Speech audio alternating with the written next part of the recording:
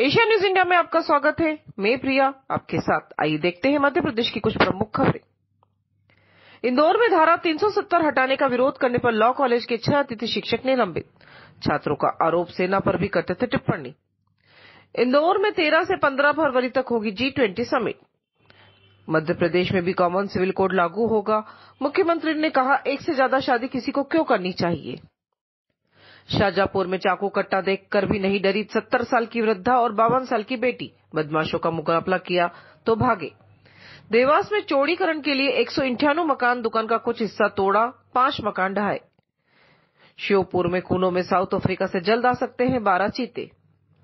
भोपाल में राज्य हज कमेटी के चुनाव 6 दिसंबर को होंगे। मंदसौर ने ठंड ने तोड़ा 10 साल का रिकॉर्ड।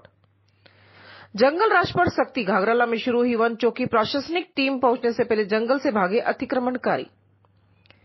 सागर की गैंग ने दबों में लूट दो पकड़ाए, नोटों का बैग लेकर एक फरार।